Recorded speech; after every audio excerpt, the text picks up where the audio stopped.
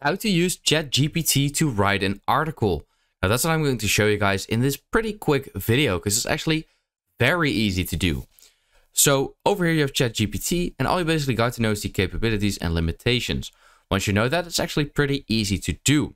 So if you want an article, then all you basically got to do is simply type in write an article.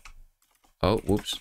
About and then anything you can imagine. So let's say this over here. And I can simply click on send, just like that.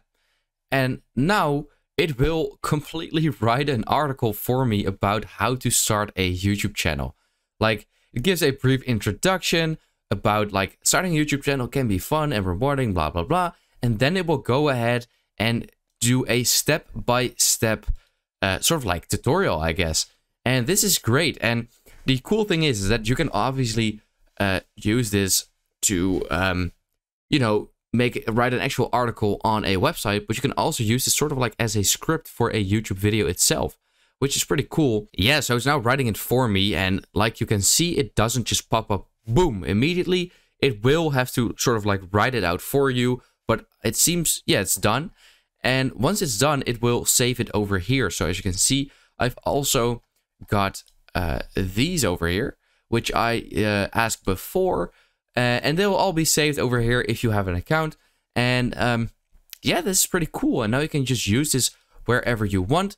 And something which is pretty cool as well is if you change the chat over here in the link to um, beta and then the uh, openai.com slash chat to playground, just like this then you will open up the beta version of ChatGPT, which is great because this has uh, different models that you can use.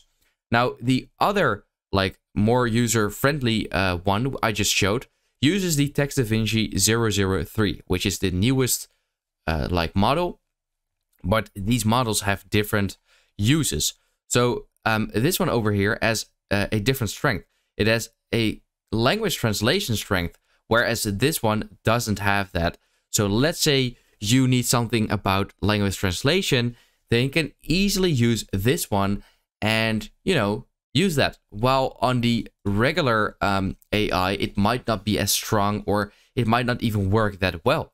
So you have also many other options like the maximum length, the temperature, frequency. Like, I don't even know what all of these are about, but they all have like uh, brief introductions like uh, how much to penalize new tokens based on where they appear in the text so far, increases models' likelihood to talk about new topics, and you have so much customization, which is cool, but this is basically all there is to it. So I hope this video helps you out, and I'll see you next time. Have a good day.